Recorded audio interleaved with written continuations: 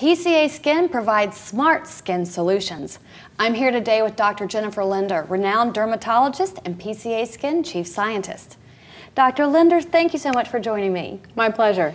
So I'm very excited about the purifying mask, which everyone has in their Beauty Fix kit. Tell us a little bit about that product. So this is one of my favorite products. In fact, I used it myself yesterday. okay. So the reason why it's so wonderful is it really can be used by about anyone, whether or not their skin is dry or oily. It's really magnificent in that it is designed to hydrate as well as detoxify the skin. So it has a microfine pumice that can help to exfoliate the skin. There's red algae as well as French red clay that detoxifies the skin and hydrates it.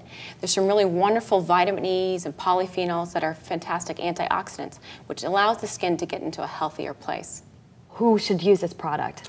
So if you have acne, it can be used to detoxify the skin, actually decrease the problems with acne, decrease the number of papules.